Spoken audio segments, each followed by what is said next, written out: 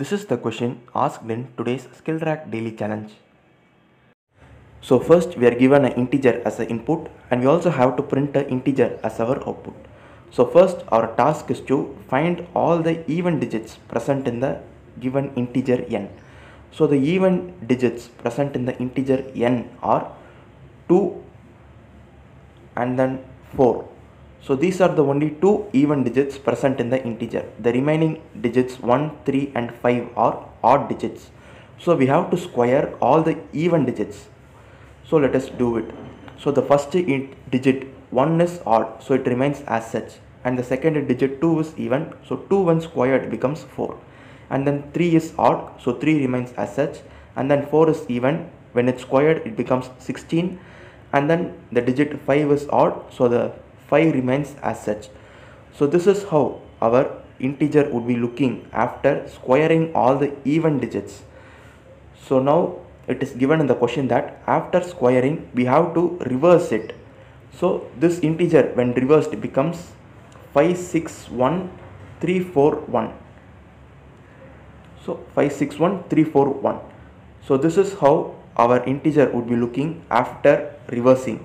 So that is our output so this is how we get our output for the sample input 1 now let us see our sample input 2 so the given integer is 60500 so first our task is to find all the even digits. So the first digit 6 is even and then the zeros. So the only digit 5 is the odd. All the remaining digits are even digits. So let us square all the even digits. So the first digit is 6 and it is a even digit so 6 when squared becomes 36 so the first digit 6 is converted into 36 and then 0 when squared is 0 itself. So 360 and then the digit 5 the digit 5 is odd so the 5 remains as such. And then the remaining 2 are 0 so both are even and both when squared remains 0 so we add two zeros. So now we have to reverse this integer. So this integer when reversed becomes 0 0 5 0 6 3 so so this is how our new updated or reversed integer looks like. But our output is 5063 what we have done is we have just removed the zeros which are present at the beginning. So it is mandatory that our output must not contain the trailing zeros.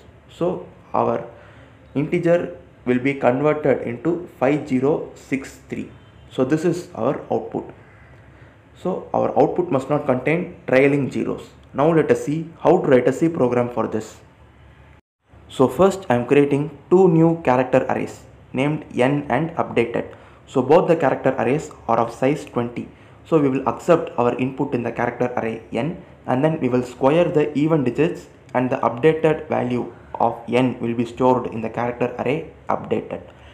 So we are going to accept our input in a string format. So in the scanf statement I am using percentage %s and I am accepting the input and storing it into the character array n.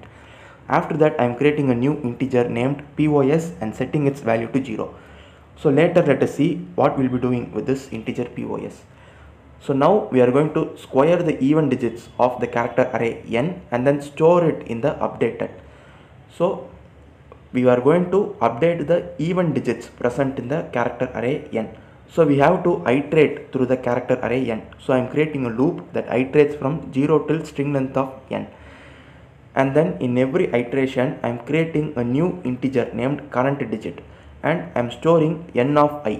So the n of i would be the digit but it would be in ASCII value. What we need is in the decimal value.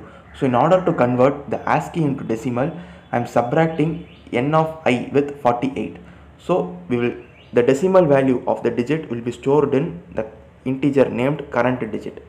So now if the current digit is a even digit we have to square it as per the question so I am including a condition if current digit mod 2 is equal to 0 then current digit is equal to current digit into current digit so that will be the square now we have to store this current digit into the character array named updated so to do that we are going to make use of this function sprintf so let us see how this function works So first we will be giving the name of the character array in which we should store it. So the name is updated. So first I am giving the name. So here I have also included the symbol ampersand. So let us see it later. And after that within the quotes we should give the specifier. So the specifier here is percentage d because the current digit is an integer. So what will be happening is the current digit value will now be stored in between this double quotes and whatever the value percent in between the double quotes will be stored into this character array named updated. So this is how this function sprintf works and the reason why we have included this ampersand and the POS is in the first iteration we will store a digit and then in the next iteration again we will store a digit. If we don't give the position then the earlier inserted digit will be deleted. So in order to avoid that we are setting the position from which the characters need to be inserted.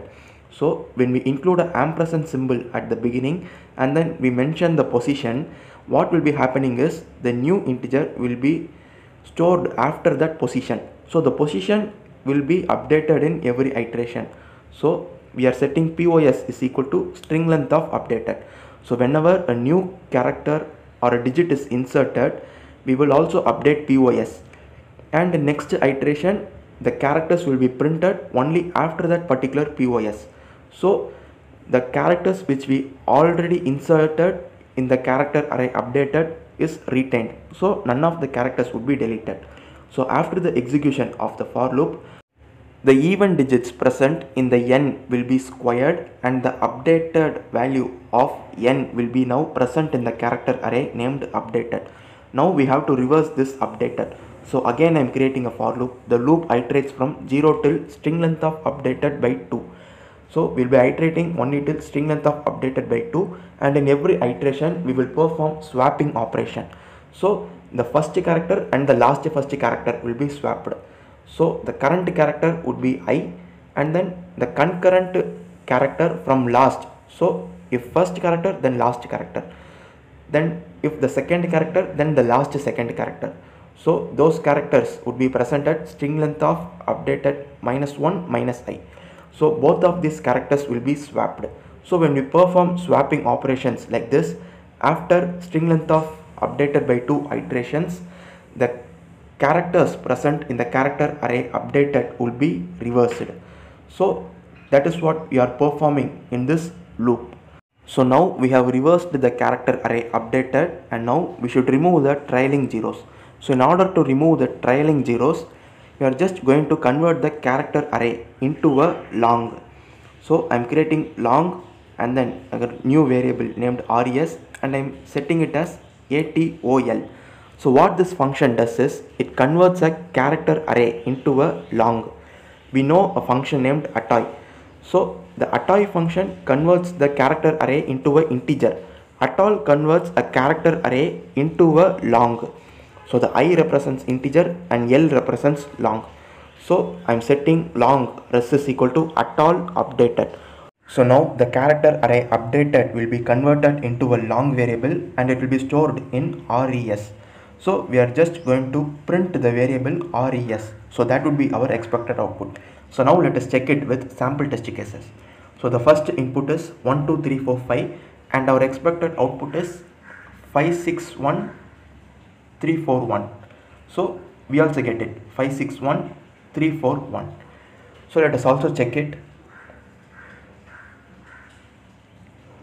So it is correct. 5, 6, 1, 3, 4, 1 for the input 1 2 3 4 5 and now let us see our sample input 2 so the sample input 2 is 60500 so let us give it 60500